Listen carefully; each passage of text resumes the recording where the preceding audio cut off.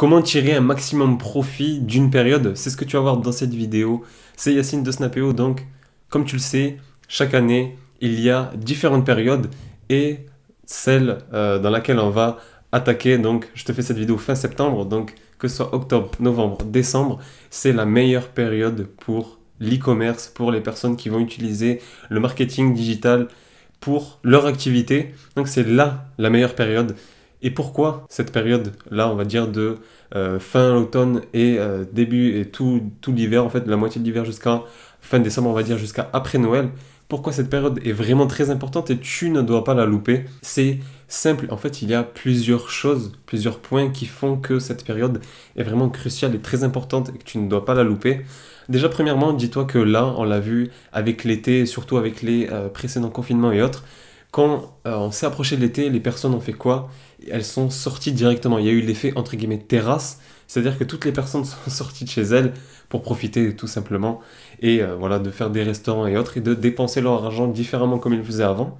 Donc ils ont plus profité de l'extérieur et donc ont mis leur argent ailleurs, tu vois. Ici, là, on attaque une période qui va plus dans le froid, donc les personnes vont sortir de moins en moins et vont dépenser leur argent de moins en moins dehors, tu vois, vont plus rester chez eux, etc.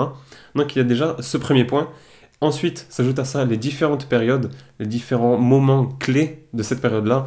Donc que ce soit Halloween, que ce soit, tu vois, le Black Friday, le Cyber Monday, Noël, Black Friday, tout ça. En fait, ce sont des moments très importants pour le e-commerce. Et c'est des périodes qu'on va utiliser nous à notre avantage. C'est des périodes qui sont pour les clients très intéressantes comme le Black Friday et autres.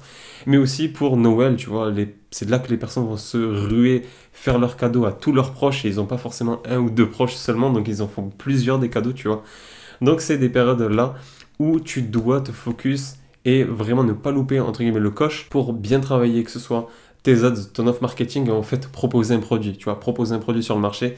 Et c'est cette période-là que tu ne dois pas louper.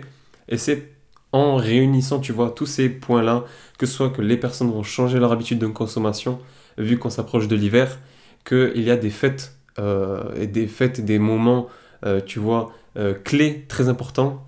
Tout ça va faire que, combiner, que c'est la meilleure période pour l'e-commerce, pour utiliser, tu vois, que ce soit le, le, digital, entre guillemets, pour faire simple, cette période-là, pour ton activité. Donc, que tu fasses du e-commerce et autres, peu importe, c'est une période très importante. Donc, je pense que tu l'as compris. Là, septembre, octobre, novembre et décembre sont très importantes.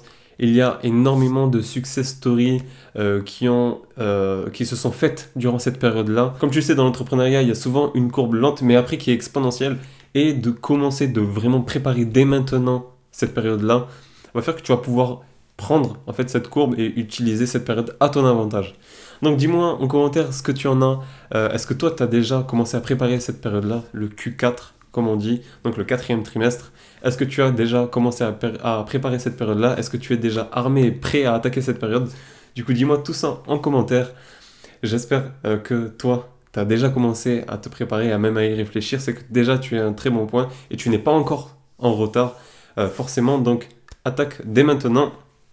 Et n'oublie pas à liker et à t'abonner à la chaîne comme d'habitude.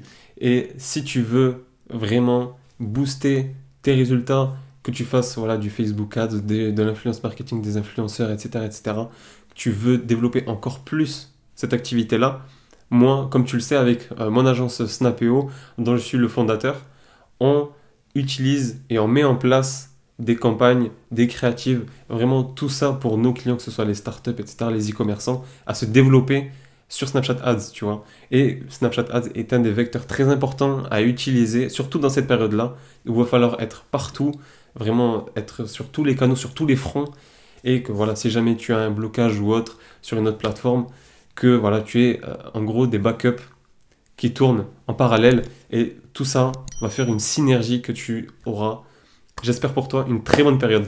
Donc j'espère que la vidéo t'a plu, et on se dit à la prochaine.